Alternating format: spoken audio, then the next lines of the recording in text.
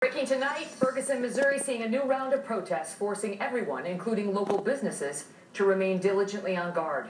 We heard a number of reports over the weekend about businesses being looted while police stood back, not engaging the looters.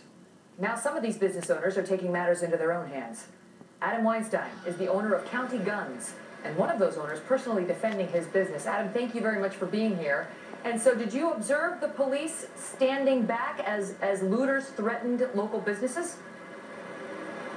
Uh, the area that we're located in, there wasn't a, a large police presence. Um, when we did happen to call 911 that night, it took uh, quite a bit of time for them to respond. They were pretty busy down in the heart of the area. Have you have you felt threatened, and has your business been hurt?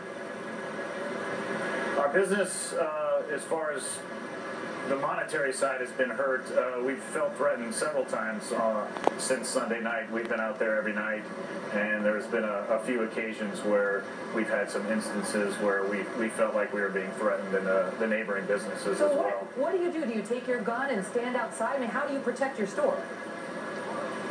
Uh, we have a group of people uh, that are friends of ours, uh, some employees, uh, the other owner of the uh, St. Louis Ink Tattoo Studio, which our business uh, shares a storefront with.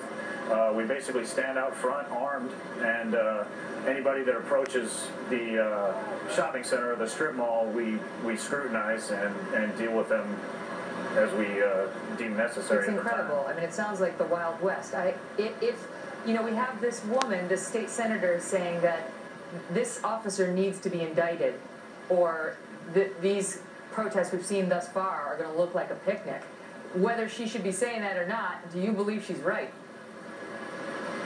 Uh, as far as the officer being indicted, I I find it pretty uh, pretty bad to hear that when all the facts haven't come out. How, how do you indict somebody without all of the information? That seems a little premature. Um, as far as what's to come, uh, I share the same opinion with some of my, my other business owners that if, uh, for whatever reason, they do not indict the officer, uh, I believe things are going to get a lot worse. Let's hope that's not true. Adam, thank you. You're welcome.